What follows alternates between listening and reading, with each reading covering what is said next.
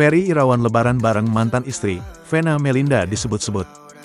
Nama Vena Melinda ikut terseret saat Ferry Irawan merayakan lebaran bareng mantan istrinya, Anggia Novita.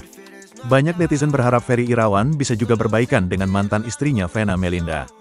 Dalam video yang dibagikan Ferry Irawan, tampak Anggia Novita datang berkunjung ke rumah bersama kerabat yang lain. Bahkan, Anggia juga masih terlihat akur dengan mantan ibu mertuanya. Ferry Irawan pun tak menampik akan keakuran mantan istri dengan keluarganya itu.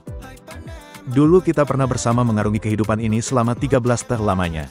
Perpisahan bukanlah berarti permusuhan. Pendewasaanlah yang memuat kita tetap bersaudara dan bersilaturahmi, tulis Ferry Irawan di Instagram, dikutip Selasa, tanggal 16 April tahun 2024. Postingan itu pun menuai beragam komentar netizen.